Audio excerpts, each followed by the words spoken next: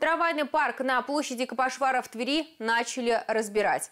Напомним, он функционировал с 2010 года. Его закрыли за ненадобностью, когда сокращали трамвайные маршруты. Территория быстро пришла в упадок. Два года назад депутаты Тверской городской думы приняли решение передать трамвайный депо в собственность региона для строительства делового центра Тверь-Сити.